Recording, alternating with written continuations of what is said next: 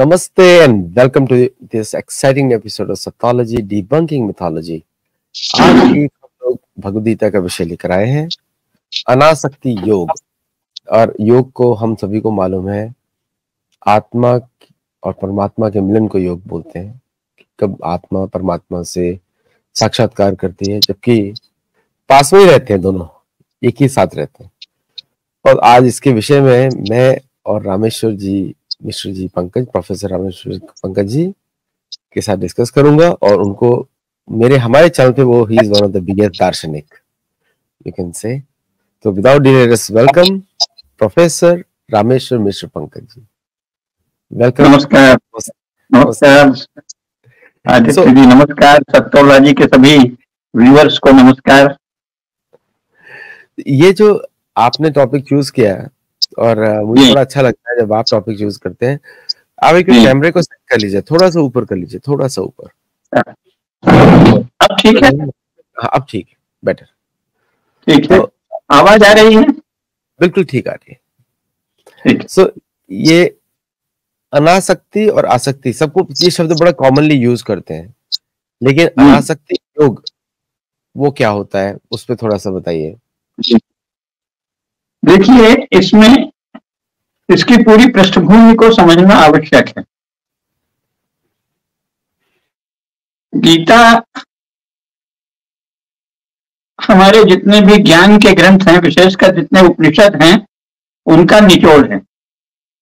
इसीलिए उसके महात्म में कहा गया है, सर्वोपनिषदों का वो दोग्धा गोपाल नंदना पार्थो वत्सा सुधीर भोक्ता दुग्धम गीतामृतम महत। गीता वो अमृत है जो उपनिषद रूपी गायों से अर्जुन रूपी बछड़े ने किया है। यानी सर्वोपनिषदों का वो दोग्धा गोपाल नंदना। सभी उपनिषद गाये हैं, एक रूप में रूपक दिया गया है, और जो भगवान श्री कृष्ण है, वो गाय को धोने वाले हैं, उसका रस। और उस रस को पी कौन रहा है? उसको मुख्यतः तो अर्जुन पी रहे हैं।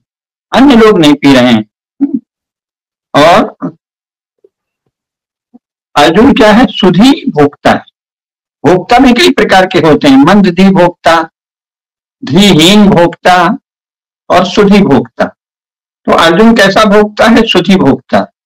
अब ये जो सुधी विशेषण लगा है, इसमें ये निहित है कि कोई मंदघी भोक्ता भी होता होगा और कोई धीहीन भोक्ता भी होगा। तो सबके लिए गीता है क्या? एक तो इसको समझना चाहिए।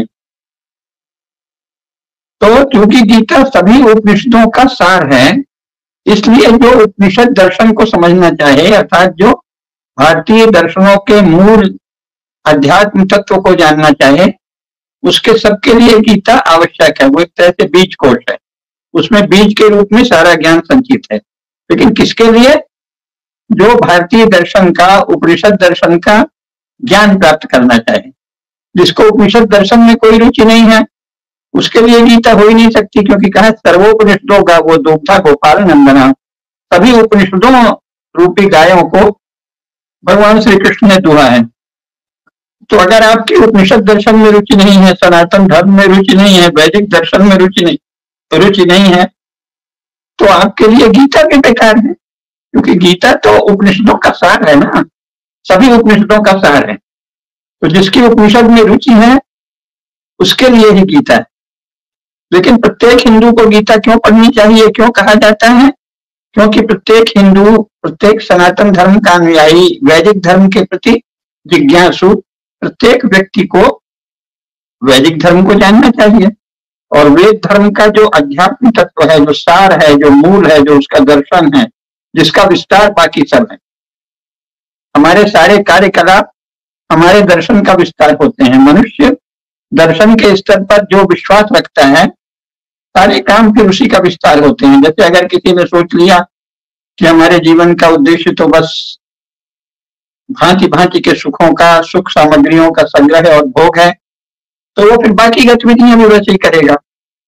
अगर किसी ने सोचा कि नहीं, आत्मा है, परमात्मा है, पुनर्जन्म है, कर्म फल है, इन सब का ज्ञान और मानव जीवन में जिस जहाँ भी मैं पैदा हुआ हूँ, वहाँ क्यों पैदा हुआ हूँ, उसके क्या कारण हो सकते हैं? मेरा वर्ण क्या है? मेरा आश्रम क्या है? मेरा स्वभाव क्या है? मैं किस कुल में उत्पन्न हुआ हूँ?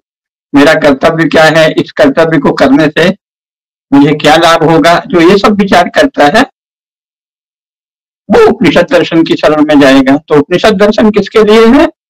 जो ब्रह्मांड के रहस्यों को, जीवन के रहस्यों को, सृष्टि के रहस्यों को जानना चाहे, जो जीवन के नियम को जानना चाहे, जो पुनर्जन्म और कर्मफल के नियमों को जानना चाहे, जो आत्मा और परमात्मा का स्वरूप जानना चाहे। अब आप कहेंगे कि ये सब तो बहुत ही व्यापक विषय है और आज आपने अनासक्ति क्यों रखा है? इसका एक कारण है। ये जो अनासक्ति शब्द है, ये बीसवीं शताब्दी ईस्वी के राजनेताओं ने ज़रूरत से ज़्यादा उछाल दिया तो इसकी पृष्ठभूमि को पहले आप समझें। ऐसे हुआ कि सदा से ही जो भी हमारे आचार्य होते हैं, वो प्रस्थान त्रय पर टीका अवश्य करते हैं। ब्रह्मसूत्र, उपनिषद और गीता।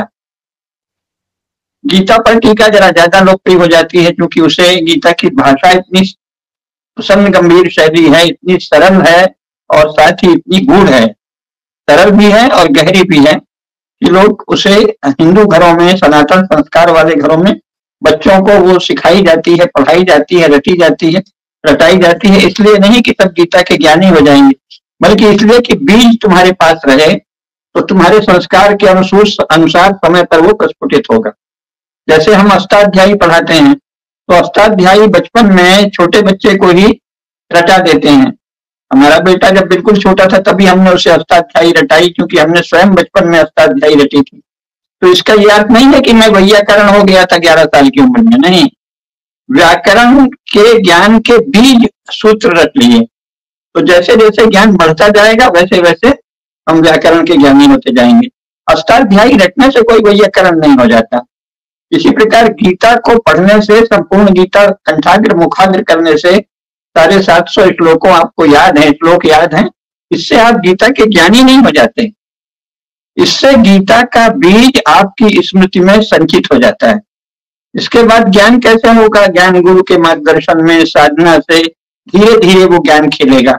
आपके संस्कार, आप मनुष्य रूप में आए हैं तो कुछ आपके पिछले जन्मों के संस्कार होंगे तो आकांक्षा भी होगी। उसके अनुसार आप भोग करेंगे तो भोग में भी समय जाएगा। और गीता अगर चित्त में सुरक्षित है तो ज्ञान की ओर भी ध्यान जाएगा। तो वो ज्ञान आपके चित्त में बीज रूप में सुरक्षित रहे, जिससे आप केवल सांसारिक पुरुषार्थ में इतने लीन न हो जाए कि मूल ज्ञान भूल जाए। समय समय पर आपका ध्यान जाए और जितनी आपकी प्रज्ञा जागृत हो, जितना आपका चित्त जागृत हो, जितना आपका चित्त शुद्ध हो, निर्मल हो, उतना ही आप फिर ज्ञान की ओर ज़्यादा जाएँगे। क्यों करें? एक तो ये जानना चाहिए। तो ये अनाशक्ति का परिप्रेक्ष्य, इसकी बैकग्राउंड इसकी पृष्ठभूमि जानना चाहिए कि नेताओं ने अनाशक्ति शब्द क्यों चुना। और अब वो नेताओं से बढ़ के समाज में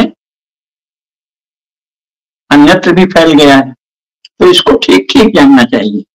तो पहली बात यह है कि जो हमारे आचार्य थे बड़े बड़े संप्रदाय के आचार्य अलग अलग वो सब ब्रह्मसूत्र उपनिषद और श्रीमद भगवत गीता पर टीका करते थे।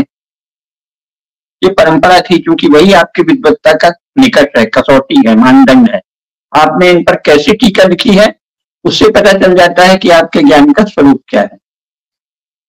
तो किसी समय जब हिंदू मुस्लिम टकराव बहुत हो रहा था, फिर उसी समय ये फ्रेंच आए, डच आए, अंग्रेज़ आए तो जो सर्वसाधारण संस्कारी लोग थे जो राजनेता नहीं थे, जो युद्ध नहीं कर रहे थे, उन, उनके चित्त में थोड़ा सा उदासीनता आ गई। क्यों?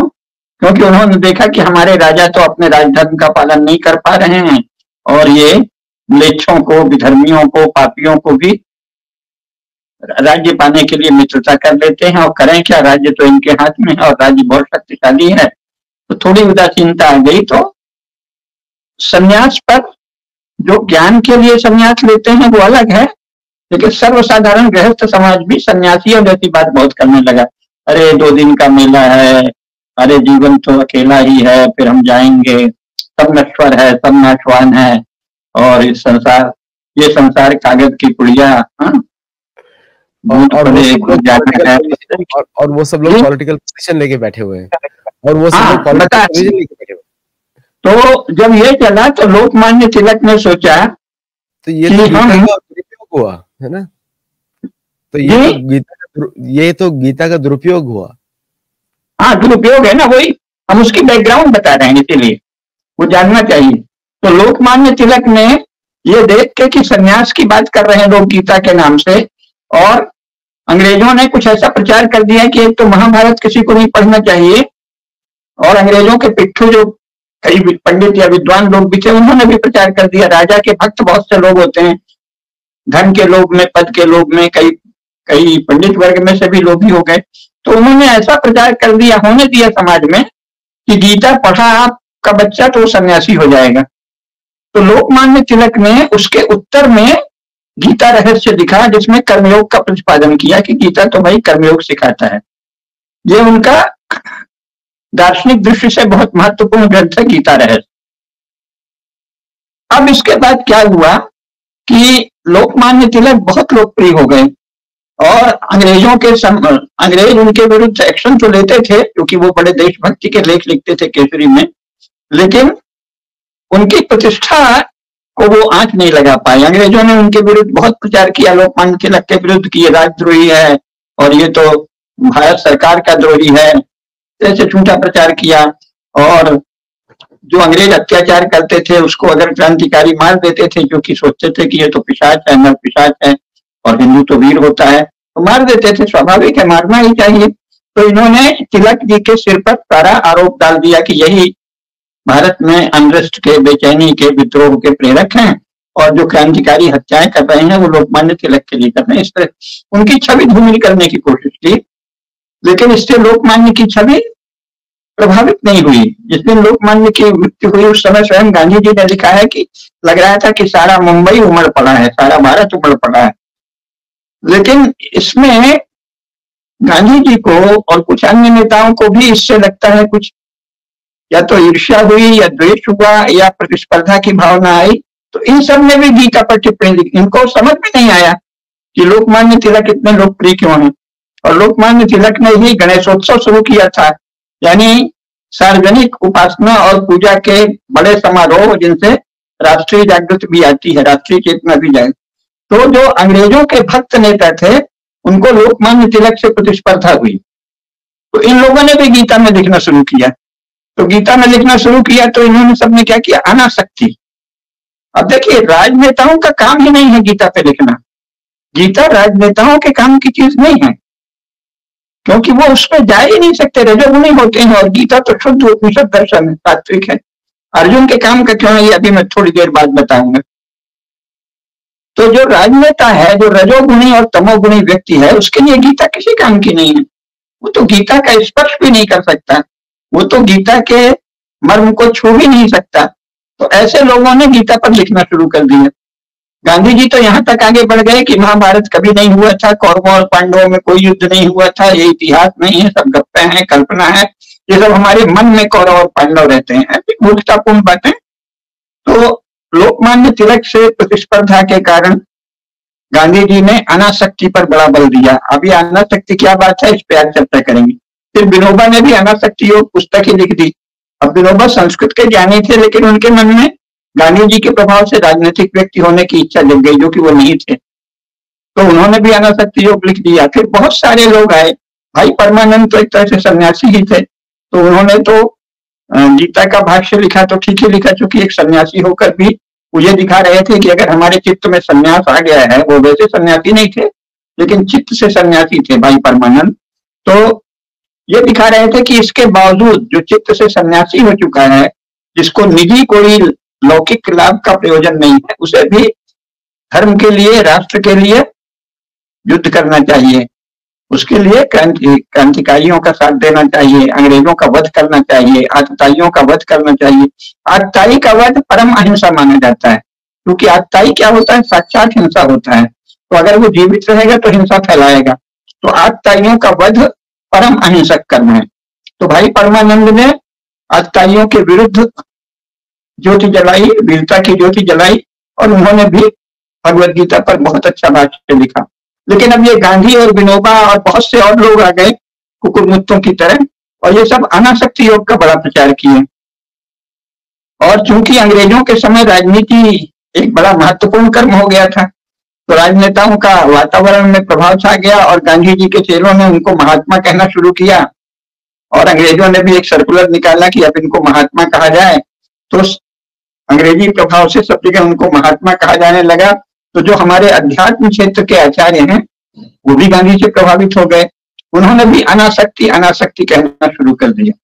तो पहली बात यह कि अनासक्ति क्या है, ये जानना चाहिए। दो बातें जानने की आवश्यक है। पहली बात की ये गीता के अनुसार जीवन जीना या गीता का ज्ञान सामान्य राजनेता के वश का ही नहीं, वो इसको समझेगा ही नहीं। अगर सब राजनेताओं के ये काम का होता तो भगवान कृष्ण ने महाभारत के समय सम्राट युधिष्ठिर को, महाराज युधिष्ठिर को पांडवों के सर्वश्रेष्ठ सेनानी भी और शासक भी, उनके नेता भी, ऐसे महाराज युधिष्ठिर को गीता का उपदेश दिया होता तो उन्होंने नहीं दिया। तो गीता का उपदेश किसे दिया गया? ये जानना चाहिए। एक ऐसा व्यक्ति जो जन्म से ही शास्त्रों को जानता है, जिसने सारी विद्याएँ पढ़ रखी हैं, जो महावीर है, जो बड़ी बड़ी वीरता के साथ अपना पुरुषार्थ संपन्न करता है, जो स्वधर्म पालन में कभी नहीं चूकता, जिसके मन में उदारता, वीरता, ऐश्वर्य, विद्या सभी के गुण पूरे उत्कर्ष में हैं। इसके बाद उसे कोई संशय होता है। और वो संशय बड़ा विराट संशय गांधी जी तो इतने, इस विषय में इतने मूर्ख हैं कि उन्होंने कह दिया कि अर्जुन डर गया। अरे अर्जुन कोई डरने वाला है? महावीर, परमवीर अर्जुन, वो किससे डरेंगे? अर्जुन कभी डरेगा क्यों? अगर डरा होता तो पहले कभी युद्ध नहीं करता। निरंतर युद्ध कर रहा है। तो हमारे भाई भतीजे मर जाएँगे, ये भी अर्जुन की कोई डर नहीं था। अर्जुन तो शास्त्रों में पारंगत था। अर्जुन तो शास्त्र के विद्वान थे। उन्हें तो पता ही था कि जन्म चक्र निरंतर चलता है, पुनर्जन्म होता है, आत्मा अजर अमर विनाशी है कर्मफल मिलता है, सब कुछ मालूम था। उनको केवल ये सताया कि ये बड़ी संख्या में जो सारे ही श्रेष्ठ वीर इस महाभारत युद्ध में मारे जाएँगे, उसके बाद की दशा क्या होगी? क्या कतिपय जो स्त्रियाँ हैं, युवती होंगी, उनमें स्वाभाविक कभी रजोगुण जग गया वो प्रदूषित हो जाएँगी क्या? कुल की जो परंपरा चली आई है सनातन, चूँकि कुलों से ही भारतीय संस्कृति क्या है? कुल धर्मों का समुच्चय। हर कुल अपने स्वधर्म का पालन करता है, सनातन धर्म के अनुसार, तभी भारत है। अगर कुल नहीं रहेगा तो भारत नहीं रहेगा। कोई पार्टी, कोई संगठन, कोई राष्ट्र की बात करने वाले बड़े बड़े समूह, इनसे नहीं रहेगा। कुल और संप्रदायों से ही सनातन धर्म टिकेगा। तो उनको लगा कि जब कुल नहीं रहेगा तो संप्रदाय भी कैसे रहेंगे? तो कुलों का क्षय हो जाएगा और कुल क्षय होने से सनातन धर्म नष्ट हो जाएगा। तो अर्जुन की चिंता क्या थी? सनातन धर्म का भारत में विलोप नहीं हो। सनातन धर्म क्षय नहीं हो। और मूर्ख लोग क्या बताते हैं? वो अपने भाई और चाचा और ताऊ को देखा और साला और जीजा को देखा और इसको देखा, उसको देखा, डर गया। अरे, अर्जुन मूर्ख था क्या? बचपन से शास्त्रों का ज्ञाता दिन रात युद्ध करने वाला महावीर परम वीर परम पराक्रमी जो भगवान शंकर से जिसका युद्ध हो चुका है, जो इंद्रलोक जा चुका है, जो सूर्य मतलब सभी इंद्र देवता जिसको साक्षात वरदान देते हैं, अनेक देवता वरदान देते हैं, जो साधना जानता है, गायत्री साधना जानता है, वो उसको पता है कि सभी को मरना है तो मरने का सबसे अच्छा अवसर है। धर्म युद्ध में क्षत्रिय की मृत्यु सर्वत सबसे श्रेष्ठ है। आखिर सारे ही सनत में ये जानते हैं द्वाविनव पुरुषों लोग के सूर्यमंडल भेदिनो दो प्रकार के पुरुष हैं जो सूर्यमंडल को भेदन करके ऊपर जिनकी गति होती है, पहला तो योगी और दूसरा वीर छत्री तो उसके जो सामने उपस्थित थे चाचा, पिता, ताऊ, उनकी तो सदगति सुनिश्चित थी। ये तो निश्चित है कि ये जब क्षत्रिय छात्र धर्म का पालन करते हुए युद्ध में मरेंगे तो इनको सदगति होगी। ये तो उस गति को प्राप्त करेंगे जो योगियों को प्राप्त होती है। द्वा विभव पुरुषो लोग के सूर्यमंडल भेदन। सूर्यमंडल का भेदन करके ये उस गति को प्राप्त करेंगे। क्यों? क्योंकि ये धर्म युद्ध में लड़ रहे हैं। उनको भीष्म पितामह है द्रोण और इनकी मृत्यु की कोई चिंता नहीं है। और वो इसकी चिंता की बात नहीं कर रहा। वो कह रहा है, क्या इससे कुल धर्मों का आप देख लीजिए दूसरे ही अध्याय में क्या कहा है? कहा है, कुल कुलक्षय पुनश्यंती कुल धर्मा सनातना। अगर कुलक्षय हो गया स्त्री सुदुष्टा सुभाषण जायते वर्ण संकर उसको द्रोण भीष्म अपने चाचा, अपने ताऊ, इनकी मृत्यु की चिंता नहीं है, अपनी मृत्यु की भी चिंता नहीं है, वे तो सदा सर हथेली पर रखकर चलते हैं। और जैसे वो अपने को वीर मानता है, ऐसे भीष्म को भी वीर मानता है। तो ये सब युद्ध में उपस्थित हुए हैं। ये तो बहुत ही गौरवशाली है। आप देखिए महाभारत पढ़िए तो कर्ण जो युद्ध का वर्णन करता है कितना गौरवशाली। वो कहता है ये युद्ध एक महान यज्ञ है। इसमें ये खड्ग हैं तलवार हैं परिघ हैं ये सुबह हैं और जो हम लोग मारते हैं जब रक्त गिरता है तो ये आहुति है पूरा। युद्ध एक महान यज्ञ है और उस यज्ञ में भाग, लेने वाला क्षत्रिय पवित्र हो जाता है। तो उसको अपने चाचा ताऊ की कोई चिंता नहीं है। उसको चिंता यह है कि ये इतने विकराल पैमाने पर युद्ध हो रहा है। दोनों ओर से सभी वीर क्षत्रिय लगभग संपूर्ण जम्बू द्वीप के वीर उपस्थित हुए हैं तो इनके नष्ट होने पर धर्म की रक्षा कौन करेगा? कुल धर्मों का प्रवाह कौन करेगा?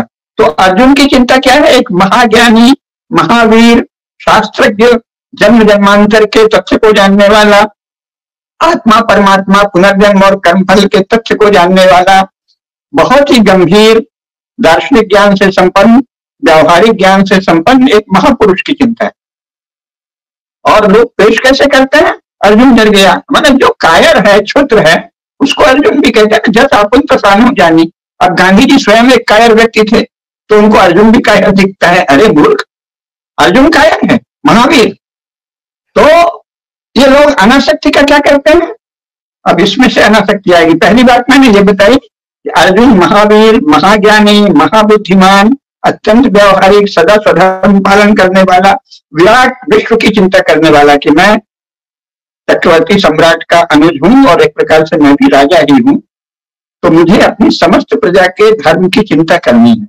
प्रजा का धर्म पालन होता रहे ये देखना राजा का कर्तव्य ऐसे राजधर्म की गंभीर चिंता करने वाला महापराक्रमी महावीर महाज्ञानी अर्जुन उसको गीता का उपदेश दिया गया है। तो गीता का प्रामाणिक उपदेश का अधिकारी विरल लोग हैं।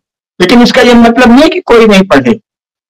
हिमालय में सब लोग नहीं पहुँचेंगे, एवरेस्ट में, लेकिन तलहटी में जाएँगे, ऋषिकेश में जाएँगे लक्ष्मण झूला में जाएँगे, हरिद्वार में जाएँगे, कुछ तो पुण्य लाभ होगा। गीता पढ़ने से सबको पुण्य लाभ होगा, सबको पढ़ना चाहिए। लेकिन गीता का जो मूल उद्देश्य है, वो किसी महापराक्रमी, महाज्ञानी, महावीर के लिए है, दुर्लभ है। युधिष्ठिर भी उसके पात्र नहीं है, इस तथ्य को जानना चाहिए। जब हम इस तथ्य को जानेंगे तब ये बात आएगी कि मूर्खों ने अनाशक्ति का इतना महत्व कैसे दिया? अनाशक्ति अनाशक्ति इसका क्या अर्थ है? इन्होंने अनाशक्ति को ऐसे कह दिया कि कर्म करते हुए बस आसक्त मतलब अच्छा? पहली बात कि अनासक्त जो रहेगा, वो कर्म करेगा ही क्यों? मनुष्य सदा कर्म का विचार करके ही कर्म करता है।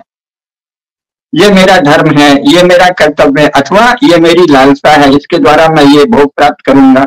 अगर वो आश्री वृत्ति का हुआ तो आज्ञो भी जन्मानस्मी, कौन्योस्ति सदृशो मया यक्षे दास्यामी, मोदिष्य, इत्यज्ञान भी मोहिता और अगर दैवी संपत्ति का हुआ तो स्वकर्मणा तमभ्यर्थ सिद्धि विन्दति मानवा। यथा प्रवृत्ति भूताना येन सर्वमिदम ततम। स्वकर्मणा तमभ्यर्थ सिद्धि की मानवा दो प्रकार से कर्म किए जाते हैं। ज्ञानी इसलिए करते हैं कि भगवान ने ये जो सृष्टि चक्र चलाया है, मैं इसका एक छोटा सा कण हूँ छोटा सा अणु हूँ। मेरी कोई ऐसी हैसियत नहीं है कि मैं इस सृष्टि चक्र को बाधित करूँ। इसलिए इस सृष्टि चक्र में हमारा योगदान, हमारा कर्तव्य है, अन्यथा हमारा जीवन ही एक अभिशाप है। सृष्टि चक्र के प्रवर्तित रहने में स्वधर्म पालन के द्वारा मैं भगवान की अर्चना करता हूँ।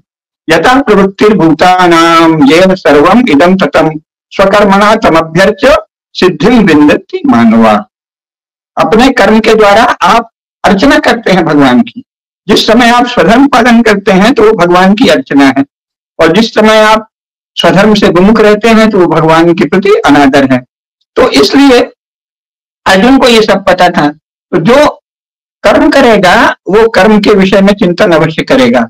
अनासक्त तो केवल ये कहा है कि अनाश्रित कर्म फलम कार्यम कर्म करो सन्यासी च योगी च न निरग्निर न चाक्रिय।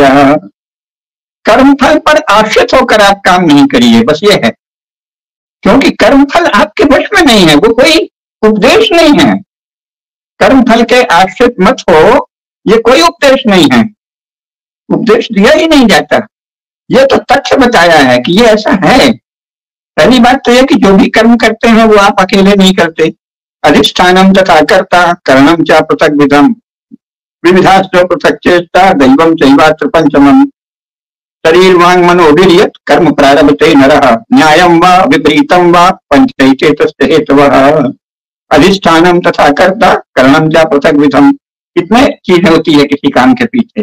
विविधास्त्र पृथक चेष्टा इसमें बहुत से समाज का, बहुत सारी शक्तियों का हमारे प्रत्येक कर्म में बहुत सारी शक्तियों का, समाज का, हमारे संबंधियों का, हमारे परिजनों का, हमारे शत्रुओं का सबका योगदान है किसी न किसी रूप में।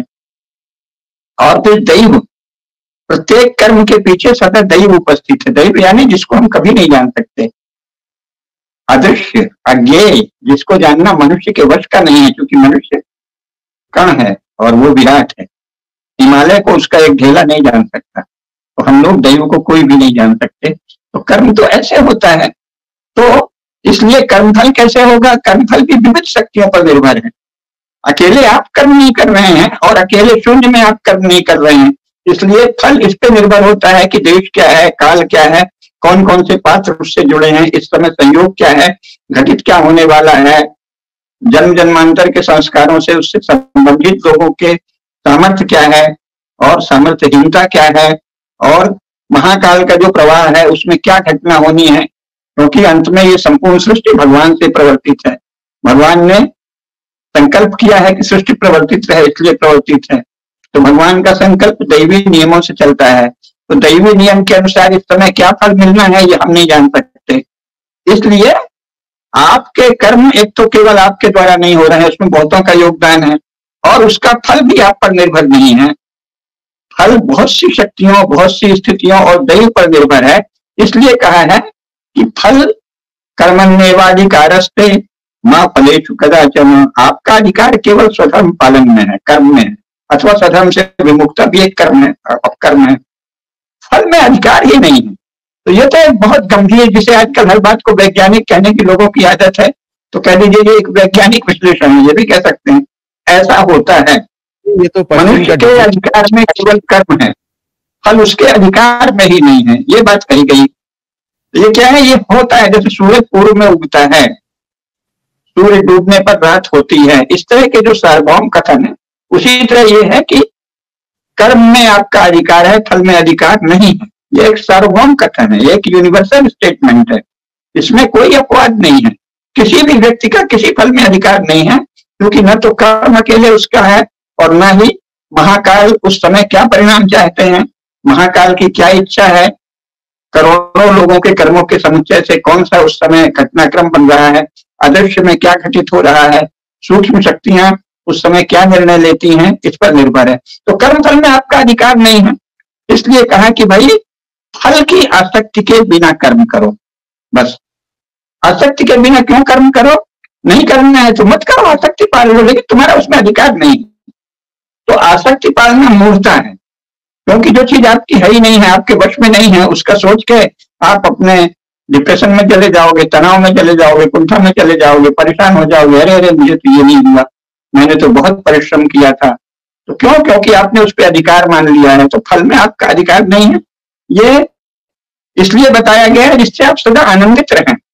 फल कुछ भी हो, आप प्रसन्न रहें कि मैंने कर्म भली भांति संपादित किया है। तो कर्म फल में आपका अधिकार नहीं है। ये एक गीता का आजकल की भाषा में कहना वैज्ञानिक विश्लेषण है। परंपरागत भाषा में कहेंगे, सूक्ष्म और गूढ़ दार्शनिक विश्लेषण अब इसमें यह चल गया है कि नहीं साहब, हम तो राजनीति करेंगे, हम तो चुनाव लड़ेंगे अनासक्त होके। हम तो अंग्रेज़ों से दोस्त गांधी जी ने क्या किया, जीवन भर अंग्रेज़ों से मित्रता की। और भाषण क्या देते रहे, अनासक्त कर्म करो। अरे, तुमने देश का विभाजन स्वीकार किया, अनासक्त रह के किया था। करोड़ों लोग, लाखों लोग मारे गए, हत्याएँ हुई, और तुम अनासक्त थे। तुम अनासक्त थे कि उससे कोई सौदेबाजी कर रहे थे अंग्रेज़ों से।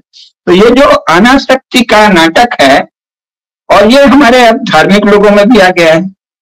अब सच, सत्य ये है कि यदि आप सचमुच अनासक्त हैं, जो व्यक्ति सचमुच अनासक्त है, पहली बात तो ये वो सन्यासी जैसा होगा, और उसके मन में किसी कर्म की लालसा ही नहीं होगी, जो इतना उन्नत हो जाएगा कि अनासक्त रहे। वो कोई कर्म नहीं करेगा। फिर वो क्या करेगा? जब तक जीवित है, तब तक गुरु के मार्गदर्शन में या अपने अंतकरण के मार्गदर्शन में जो उसे लगेगा कि ये मेरा प्रारब्ध शेष है। इस प्रारब्ध को भोगने के लिए इतना करूँ, बस उतना करेगा। वो कोई नया कर्म करेगा भी नहीं। है ना? कहा है ना, अनारंभ। किसी कर्म का आरंभ नहीं करेगा। जो सचमुच अनासक्त है, वो तो कर्म का आरंभ भी नहीं करेगा, क्योंकि क्यों कर्म करें? प्रत्येक कर्म किसी न किसी आसक्ति से ही होता है। वो आसक्ति धर्म में हो सकती है, अधर्म में हो सकती है, पुण्य में हो सकती है, पाप में हो सकती है। आपको कर्म में आसक्ति रखनी ही चाहिए, फल में आसक्ति नहीं रखनी चाहिए। कर्म में आसक्ति है कि क्या ये मेरा स्वधर्म है या परधर्म है? स्वधर्म निम्न पर धर्मो भया हुआ तो मैं स्वधर्म करने जा रहा हूँ या परधर्म? कर्म के प्रति सदा प्रेम होना चाहिए, कर्म के प्रति सदा सजगता होनी चाहिए, कर्म के प्रति सदा ध्यान होना चाहिए और पूरा विवेक जागृत होना चाहिए कि मैं जो कर्म करने जा रहा हूँ, वो मेरा स्वधर्म है या मेरा परधर्म है, किसी अन्य का स्वधर्म। किसी एक का स्वधर्म हो सकता है कि वो गायन में समर्पित कर दे जीवन, लेकिन दूसरे का होगा, नहीं, मैं गायन कभी नहीं करूँगा, मैं गणित में आगे बढ़ूँगा, मैं दर्शन में आगे बढ़ूँगा। मैं राष्ट्र का काम करूँगा, दूसरे को लेकर मैं खेल खेलूँगा, वो भी राष्ट्र का एक काम है। तो स्वधर्म श्रेय पर धर्मो भया वहा। इसलिए जो कर्म हमें करना है, उसके बारे में खूब विचार करना चाहिए, ये मेरा स्वधर्म है या नहीं है। मैं किस जाति में हूँ, किस कुल में हूँ, किस वर्ण में हूँ, किस आश्रम में हूँ, उस समय मेरा क्या कर्तव्य है? स्वयं जाने, अंतकरण से जाने, जो श्रेष्ठ लोग हैं उनके लिए अंतकरण ही प्रमाण है, कहा है ना? अंतकरणम। अंतकरण ही प्रमाण है। लेकिन अगर आप इतने विकसित नहीं है तो गुरु से, मार्गदर्शक से मार्गदर्शन लीजिए। कर्म के विषय में सदा चिंतन करना चाहिए। और ये जो अनासक्त का नाटक चला है, अनासक्त होके कुछ भी करो, अनासक्त होके कुछ नहीं कर सकते। इसके लिए योग दर्शन के जो ज्ञाता लोग बहुत सुंदर एक मज़ाक करते हैं, वो बता देंगे आपको। समय हो रहा है तो इसको समेटेंगे। कहते हैं, कुछ लोग कहते हैं ना, अनासक्त होके करो, कोई फल नहीं मिलेगा। मूर्ख आदमी, तुम अनासक्त रहकर कर्म करोगे तो भी फल मिलेगा। क्यों? आपने अनासक्त रह के चोरी की तो ठीक है, आपको राजा सजा देगा, आप अनासक्त रह के सजा भोग दीजिए। इसके लिए योगी योग दर्शन में एक कथन है कि आप अनासक्त रहकर अगर पाप करते हैं तो अनासक्त रह के नरक में चले जाना। वो कोई कहे, पाप करे और फिर कहे, मैं तो अनासक्त हूँ, मैं इस पाप में आसक्त नहीं हूँ। अच्छा बहुत अच्छा। आप पाप में अनासक्त हैं, ठीक है? तो चलिए नरक। नरक में भी अनासक्त होके चले जाइए, वहाँ मना मत करिए, नहीं नहीं नहीं, नरक नहीं जाएँगे। जो अनासक्त रहकर परधर्म करता है, अधर्म करता है, विधर्म करता है, उसको अनासक्त रह के नरक भोगना चाहिए। गांधी जी ने अगर अनासक्त रहकर देश का विभाजन कराया तो उनको अनासक्त रह के लोगों की थूथू सुननी चाहिए, गालियाँ सुननी चाहिए, कलंक भोगना चाहिए, निंदा सुननी चाहिए। अनासक्त रहिए ना फिर आप क्या गांधी गांधी चिल्लाते हैं?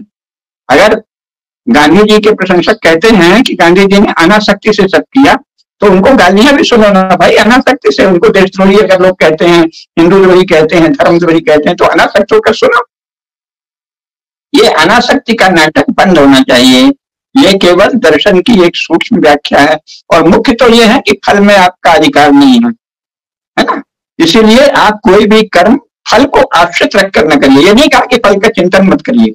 अनाश्रित कर्म फलम कार्यम कर्म करो सन्यासी च, योगी च, न निरग्निर न चाक्रिया कर्म फल के अनाश्रित जो कर्म करता है, यानी आपका जो स्वधर्म है, वो इसलिए नहीं होना चाहिए कि इससे अमुक फल मिलेगा। अथवा हम ये काम नहीं करेंगे, हमें फल नहीं मिलेगा। फल मिले या नहीं, ये मेरा स्वधर्म है, ये मेरा कर्म है।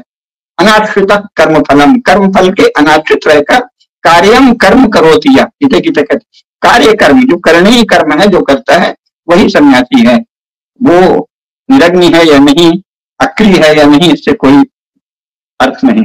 लेकिन ये जो अनाशक्ति का खेल लोकमान्य तिलक के कर्मयोग के उत्तर में राजनीतिक प्रतिस्पर्धा के कारण राजनेताओं ने गीता पर उपदेश शुरू कर दिया, ये महा अनर्थ है। और राजनेताओं के चेले जो गीता पर बकबक करते हैं, वो बंद होना चाहिए। इसी तरह वसुधैव कुटुंबकम आजकल नेता लोग बहुत कहते हैं, अरे मूर्ख कुटुंब का अर्थ होता है जिन लोगों से आपका संबंध है, जिनके जीवन पर आप प्रभाव डालते हैं और जो आपके जीवन में प्रत्यक्ष प्रभाव डालते हैं, वो कुटुंब है। वसुधैव कुटुंबकम किसको कहा है? सन्यासी के लिए। उदार चरितानाम तू अयम निजा परोवेत्ती गंगा लघु चेताम उदार चरितानाम तू वसुधैव कुटुंबकम। जिसका कोई नहीं है, जो किसी को अपना बेटा नहीं मानता, अपनी पत्नी नहीं मानता, अपना पति नहीं मानता, अपना गुरु नहीं मानता, अपना शिष्य नहीं मानता, जो एकदम ब्राह्मणी भाव को हो गया है, उसके लिए वसुधैव कुटुंबकम अगर आप किसी से नहीं रिलेटेड हैं if you are not related with any किसी से कोई संबंध नहीं है, चित्त एकदम ब्राह्मीभूत है तो वसुधैव कुटुंबकम है, मूर्ख। ये थोड़ी कि संसार से हमारा पूरा राग है, द्वेष है, और वसुधैव कुटुंबकम वसुधैव कुटुंबकम कैसे होगा? वो तो संसार में कोई आपको दिन रात बाधा डाल रहा है रात आपको बाधित कर रहा है कर्म के लिए। तो ये जो दार्शनिक कथन है अनाशक्ति वसुधैव कुटुंबकम ये जब राजनेता बोलता है तो बहुत खतरनाक होता है तो बहुत ही मूर्खतापूर्ण भी हो सकते हैं। तो अनाशक्ति योग का स्वरूप ये है कि आप ज्ञान को अर्जित करें, स्वधर्म का विचार करके ही कोई कर्म करें और फल पर आश्रित रहकर कर्म नहीं करें। अनाश्रित कर्म फलम कार्यम कर्म करोती कर्म फल पर आश्रित रहकर कोई कर्म नहीं करें। कर्म फल मिले, न मिले, उसमें आपका अधिकार नहीं है। कर्मन में वाधिकारस्ते माँ फलेशु कदाचन। कभी भी फल पर आपका अधिकार नहीं है। बस इतना है। लेकिन अनासक्त होकर हम कुछ भी करेंगे, अनासक्त होकर हम चोरी करेंगे, अनासक्त होकर हम पाप करेंगे, अनासक्त होकर हम देश का विभाजन करेंगे, अनासक्त होकर हम चुनाव में बूथ कैप्चर करेंगे केजरीवाल कह दे कि हमने अनासक्त होकर शराब नीति बनाई और घोटाला किया। तो अनासक्त होकर जेल जाओ भाई। तो ये अनासक्ति का जो नाटक है, ये कुछ मूर्ख भी उसमें फंस गए हैं, लेकिन ज़्यादातर ये बदमाशों का नाटक है। अनासक्ति योग का मूल स्वरूप यह है कि जो बहुत उन्नत है, जिसने अपने सभी धर्मों का पालन निष्ठा से कर लिया है, और जो ज्ञान की साधना करता है और अब जिसको कोई भी किसी प्रकार की आसक्ति किसी कर्म में नहीं है, विवाह में नहीं है बाल बच्चे पालने में नहीं है, संतान को पढ़ाने में नहीं है, संस्था चलाने में नहीं है, भाषण देने में नहीं है, भाषण भी एक आसक्ति है। मैं भाषण दे रहा हूँ, ये सोच के कि ये विचार फैले, ये देश के हित में है। आप आप हमसे भाषण करा रहे हैं, ये सोच के कि इससे देश में हिंदू धर्म की, सनातन धर्म की कोई चेतना फैलेगी, सब कुछ विचार इसमें क्या अनासक्त है? हम सब पूरी तरह आसक्त हैं और अनासक्त योग के नाम पर जो पाखंड चला है, उसके विषय में मैंने स्पष्ट कर दिया। एक तो ये अर्जुन के लिए उपदेश था और दूसरे उसमें केवल अनासक्त नहीं है, उसमें पूरा विभूत योग है, अक्षर ब्रह्म योग है सांख्य योग है, कर्म योग है, सारे दर्शन का प्रतिपादन है। उस विराट दर्शन के संदर्भ में ये एक शब्द है अनासक्त भी, कर्म फल के लिए। सबको भुला के बस अनासक्त आजकल बहुत चला है। अपने आप को धार्मिक कहने वाले लोग कहते हैं, हम तो अनासक्त रहकर काम करते हैं। अरे मूर्ख अनासक्त रहकर काम करने किसने कहा है? आप पहले जानिए कि जो आप कर्म कर रहे हैं, वो उचित है या अनुचित? सही है या गलत? शास्त्र सम्मत है या शास्त्र के विरुद्ध? अनासक्त रह के क्या कर रहे हो? ये जानना आवश्यक है ना? अनासक्त रहकर करने से कुछ नहीं होता। क्या कर रहे हो? उस पर सब कुछ निर्भर है। अनासक्त योग के स्वरूप के विषय में संक्षेप में मैंने बताया। अब आप कोई प्रश्न हो तो बताइए। कोई प्रश्न तो है ही नहीं बिकॉज़ बहुत ही सुंदर व्याख्या है बहुत सुंदर व्याख्या की आपने तो मेरा कोई प्रश्न नहीं है बस उसमें मेरा इतना ही है भक्तो सी में सखा चेती रहस्य में तद उत्तम? भक्तो सी में सखा चेती रहस्य ही उत्तम हाँ। अगर आप भक्त और सखा बन जाएँगे तो सारे रहस्य खुल जाएँगे बिल्कुल ये है तो उसमें गीता असल में ये सब भी शब्द हैं वसुतः भक्ति और ज्ञान और कर्म तीनों में कोई भेद नहीं है एक स्तर पर जाके। बिल्कुल क्योंकि ऐसा कोई भक्त आज तक संसार में नहीं हुआ जो ज्ञानी ना हो। ज्ञानी ना कोई भक्त। और ऐसा कोई ज्ञानी नहीं हुआ जो भक्त ना हो। शंकराचार्य को सब लोग बड़ा ज्ञान मार्ग का मानते हैं ना? और शंकराचार्य ने देवी लक्ष्मी सरस्वती दुर्गा शंकर गणेश सबकी तो स्तुति लिखी है। सारे मंदिरों में शंकराचार्य के लिखे श्लोक और भजन गाए जाते हैं। और ये तीर्थ बनाए हैं पीठ बनाए हैं। शंकराचार्य से बड़ा भक्त कोई नहीं है शंकराचार्य से बड़ा ज्ञानी कोई नहीं है। और जितने बाकी भी जो आचार्य हुए हैं चाहे वो मध्वाचार्य हों चाहे रामानंदाचार्य हों चाहे रामानुजाचार्य सब ज्ञानी हैं परम ज्ञानी हैं। ब्रह्म सूत्र पर गीता पर उन्होंने ऐसे ही व्यक्ति और सभी ने आदि शंकराचार्य का मान सम्मान किया है उनको गुरु के रूप में माना है। सब एक दूसरे का सम्मान करते हैं। इसमें कोई एक तारतम्य नहीं है कि आदि शंकराचार्य शीर्ष में ये जब ब्राह्मीभूत है तो सब बराबर है। शंकराचार्य जो सच्चा शंकराचार्य होगा वो रामानंदाचार्य का सम्मान अवश्य करेगा। रामानंदाचार्य का मध्वाचार्य का सब सम्मान करेंगे। जो सम्मान नहीं करे वो तो जो सम्मान न करे वो लौकिक राजद्वेश में फंसा हुआ लालसाओं में फंसा हुआ व्यक्ति। आदि शंकराचार्य ने जगन्नाथ अष्टकम लिखी। आदि शंकराचार्य ने जगन्नाथ अष्टकम लिखी। मध्वाचार्य हाँ। आदि शंकराचार्य की जीवनी लिखी। जी। तो हैं उनमें कहा भेद? हाँ बिल्कुल नहीं है बिल्कुल नहीं है। और बिना आदि शंकराचार्य के इतने सारे तीर्थ हमको मिलते नहीं। उन्होंने ढूंढ ढूंढ के जैसे भगवत गीता में जो गीता जहाँ पे बोली गई है वहाँ पे जाके उन्होंने मठ की स्थापना करी ताकि लोगों को विश्वास हो व्याख्या विद्वानों के लिए होती है। व्याख्या का उद्देश्य एक तरह से वो बौद्धिक इंटेलेक्चुअल एक्सरसाइज है। बुद्धि को सूक्ष्मतर है ना? अधिक तीक्ष्णतर बनाते जाना, बस व्याख्या का ये उद्देश्य है। जो ज्ञान है, वो व्याख्या से परे है। व्याख्या से आप उस स्तर को प्राप्त करते हैं कि आपके चित्त में ज्ञान भाषित हो जाता है। ज्ञान तो एक साथ भाषित होता है। मैं तो योग का विद्यार्थी हूँ ना। ज्ञान तो चित्त में ऐसे प्रकाशित होता है। ये सारी यात्राएँ हैं। ये जो बौद्धिक व्याख्याएँ हैं, इसीलिए शंकराचार्य ने सबसे ज़्यादा बौद्धिक व्याख्या की। और लिखा क्या? वाग वैखरी शब्द जनी शास्त्र व्याख्यान कौशलम वैदुष्यम विदुषाम तत्व मुक्त है न तो मुक्त है ये तो शंकराचार्य ने कहा। जिन्होंने जीवन भर वाग वैखरी दुनिया भर के तर्क लिखे। उन्होंने अंत में क्या लिखा? वाग वैखरी शब्द जरी शास्त्र व्याख्यान कौशलम ये सब भोग के लिए है। वैदुष्यम विदुषाम ये विद्वानों का वैदुष्य है। भुक्त है न तो मुक्त है विद्वानों का वैदुष्य भी भोग है। मुक्ति नहीं है, मुक्ति केवल ज्ञान में है। इसीलिए हमारे यहाँ देखिए, संतों का लोग बहुत सम्मान करते हैं। क्यों? उनको ज्ञान है। पंडितों का सम्मान सदा संतों से कम होता है। क्योंकि संत पंडित नहीं होगा बड़ा, लेकिन उसके भीतर ज्ञान है। उसके उठने बैठने में स्थित प्रज्ञ से का भाषा समाधि के स्थित किम प्रभाषित किमातीत ब्रजेत किम ज्ञानी कैसे चलता है, कैसे उठता है, कैसे बैठता है, कैसे नाराज़ होता है, कैसे प्रसन्न होता है, सबका महत्व है। तो इसलिए संत का स्थान पंडित से भी ऊँचा, इसीलिए माना गया है कि उससे प्रकाश दिखता है। तो ये सब विद्वत्ता भी भोग है। और प्रकाश तो प्रकाश है, वो भक्त को ही होता है।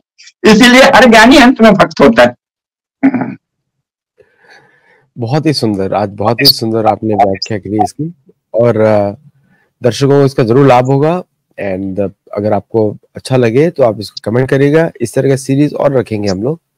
हमारे बहुत सारे वीडियोस हैं पुराने गीता के ऊपर। उस पर भी आप लोग पढ़ सकते हैं। और रामेश्वर मिश्र पंकज जी का बहुत बहुत धन्यवाद। उन्होंने इस टॉपिक को चूज़ किया और इस पर बात करी। It puts into light कि गीता, भगवत गीता का दुरुपयोग ना करें। सभी राजनेताओं को बोलना चाहिए और जो एस्पायरिंग पॉलिटिशियंस है उनको भी। आप लोग कर्म पे ज़्यादा ध्यान दीजिए और प्रवचन पे थोड़ा कम राजनेताओं के लिए। तो राजनेताओं को गीता पर भाषण राजनेताओं को गीता पर भाषण देने का अधिकार नहीं है वो नहीं देना चाहिए कर्म करना चाहिए गीता के अनुसार। बिल्कुल गीता अर्जुन ने कभी प्रचार नहीं किया सहदेव ने प्रचार किया अर्जुन ने नहीं किया। अर्जुन ने गीता पर कोई भाषण नहीं किया नकुल ने भी नहीं दिया लेकिन सहदेव ने दिया सहदेव ने ज़रूर किया। So so, Thank you all very much. Namaste. Jai Jagannath. And keep do like, share, subscribe. Jai Jagannath. Jai Jagannath. सबको चैनल के बारे में पता लगे